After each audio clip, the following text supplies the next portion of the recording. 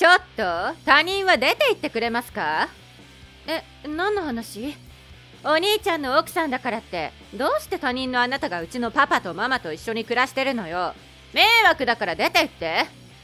急にそんなこと言われても一体何があったの？無職な上に子供が2人も完全にお荷物じゃないですか。いや私仕事してるよ。嘘つかないでください。いつも部屋にこもってるじゃないそんなの引きこもりと一緒。在宅で仕事してるんだけど。見えすいた嘘はやめてください。無職のくせに。タワマンに住むなんて。分不相応ですよ。パパたちのお金目当てなんでしょう。このこぶつきすねかじり。無職でもお金目当てでもないって。とにかく大切なパパとママのため他人は排除するって決めたんです。だいたい無職なんだから。お兄ちゃんのいる大阪で一緒に暮らせばいいじゃない。シンジは単身赴任中で数年経ったらこっちに戻るの。子供たちのこと考えたら引っ越しはしない方がいい。そんなこと言って自分が楽したいだけですよね。実はうちの旦那海外転勤になって優秀な人だから栄転です。そうそれはすごいわね。だから私がタワマンに引っ越します。あなたたちは邪魔なんですよ。そんな勝手に決めないでよ。部屋も空いてないし。だから出て行けって言ってるんです。私は実の娘なんだから同居するってだけで親孝行でしょ。あなたみたいな無職の他人とうるさいだけの子供たちはパパとママにとって迷惑なんです。お母さんたちがそう言ったの？聞かなくても分かりますよ。親子なんだから。とにかく今すぐ出て行って私は沙織38歳です。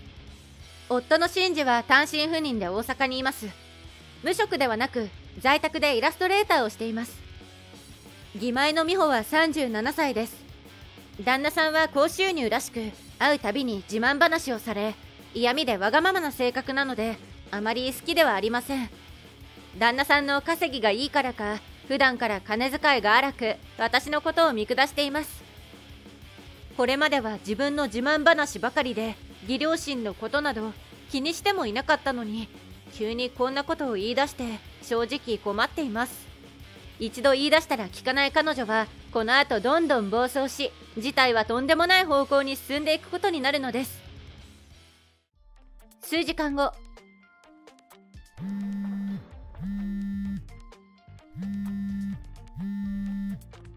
ちょっと沙織さん大変なの。すみません電車に乗っててどうしたんですか？ごめんなさいね。用事があって出かけているのに。大丈夫です。休校なので当分通話ができなくてこちらこそすみません。どうかしましたか？お母さんも今日は午後から出かける予定でしたよね。さっき出先から帰ってきたら美穂がいたんだけど何から話せばいいのかしらごめんなさい。ちょっと動転していて。え美穂ちゃんが？お母さん落ち着いてください。一体何があったんですか？引っ越しの件と関係が？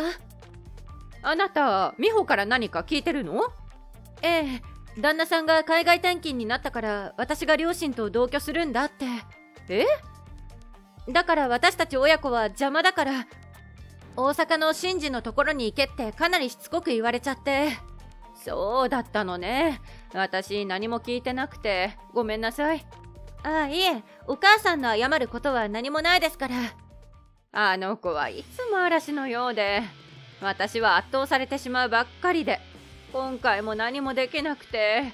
何があったんです？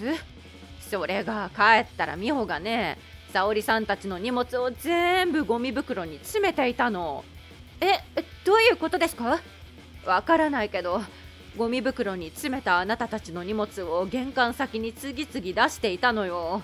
それで今美穂ちゃんは？私が着いた時にはちょうど全部出し終わったところでこちらが声をかける間もなくこれから子供たちを大阪に連れて行くんだって。子供たちを大阪に？えだって子供たちは保育園に。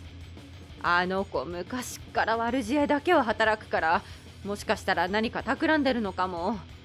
とりあえず保育園に連絡してみます。そうね。お願いするわ。何もできなくて本当にごめんなさい。本当にあの子は迷惑ばかり。困りましたね。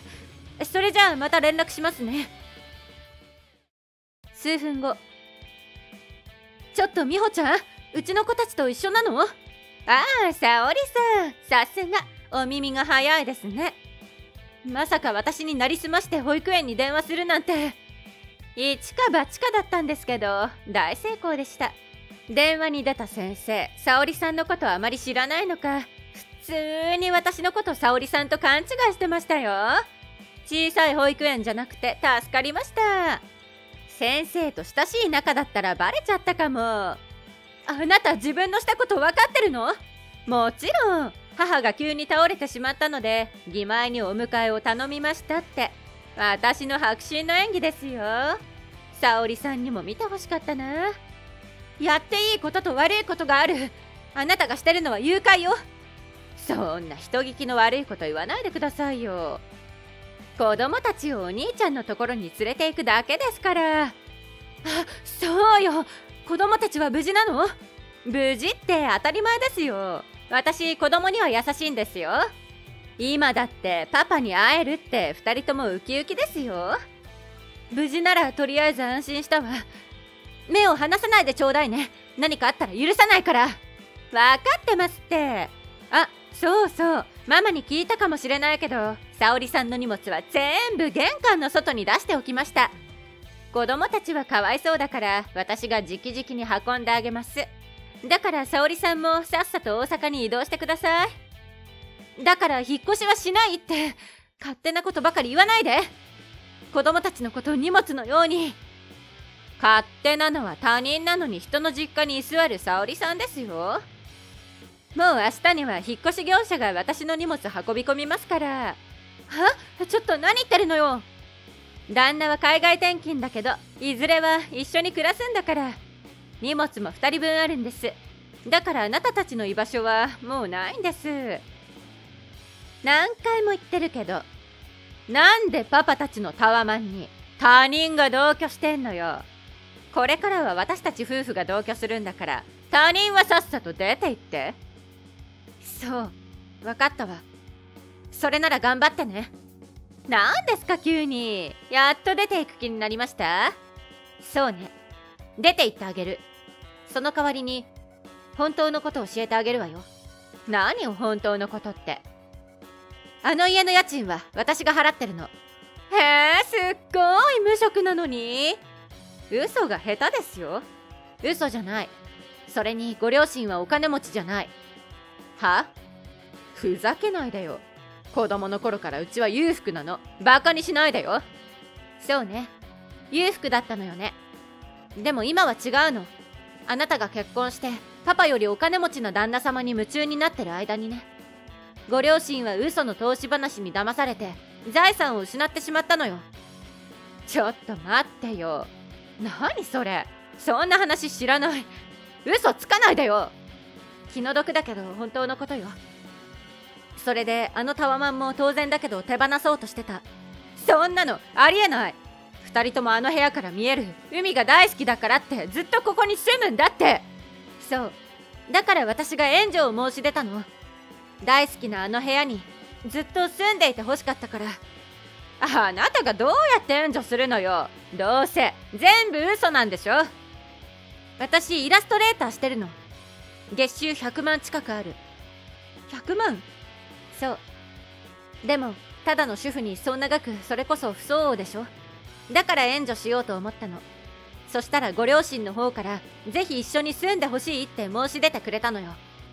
パパとママから？家賃払ってもらうだけなんて悪いからって。部屋も空いてるし一緒にって。そんな。だからご両親にとって私が迷惑だってことはないと思う。現にさっきあなたの話をしたらお母さんは迷惑だってそう言ってたわよ。ママが？えじゃあ私はどうしたらいいの？それこそ旦那さんと一緒に海外に行ったらいいじゃない。無職なんだから。嘘なの。は海外転勤なんて嘘よ。家を追い出されたの。だから行くところがないの。追い出されたってなんで？俺の給料使い込みやがってって。使い込んだの？だだって最近全然お金くれなかったからこんなんじゃ足りないと思って。まさか旦那さんのお金勝手に使ったの？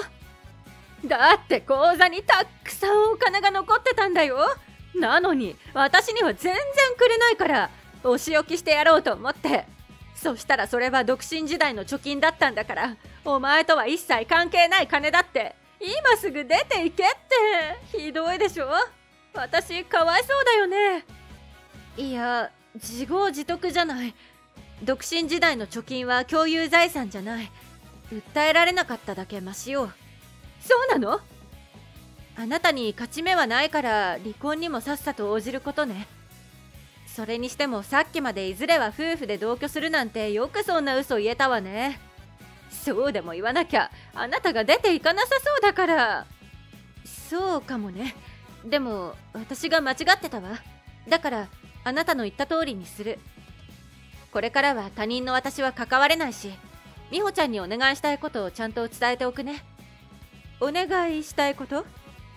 家賃の支払いはもちろん日々の生活費も面倒見てあげて。は？それにご両親はもういい年だから何かと病院にかかる機会も多いの。タクシー代も負担してあげてね。えちょちょちょっと待ってよ。なんで私が？無理に決まってる。大切なご両親のことを他人が面倒を見るわけにはいかないし。一応伝えておくけどもしタワマンの家賃が払えず引っ越しをするってなってもご両親の年金で賄えるのはせいぜいボラアパートや団地でつつましく暮らす程度の生活よ。そんなの嫌。でも私働いたことないし親を養うなんて無理。ごめんね。他人だから何もしてあげられないわ。ごめんなさいお姉様。私が全部間違っていました。子供たちは連れて帰ります。荷物も全部元通りにします。だから許してください。私も一緒に住ませて。ダメよ。連れて帰ってきちゃえ？二人ともあなたには懐いてるしパパに会えると思ってるんでしょ？責任持ってシンジに会わせてあげて。はいわかりました。よろしくね。引き渡したらすぐに戻ってきて。私の荷物を完璧に元通りにして。わかりました。じゃあよろしくねちゃちゃちゃんと従うから一緒に住ませてくれますよね。お姉様何か言ってください。ああ既読無視しないで。後日談。その後大阪にいるシンジのもとに無事子供たちを連れて行った美穂は大急ぎで帰ってきましたが気弱な義母も優しい義父もさすがに今回のことには大激怒し絶縁宣言。頼みの綱だったパパとママに見捨てられてしまった美穂は泣きながらゴミ袋に入れた私の荷物を全て片付けました。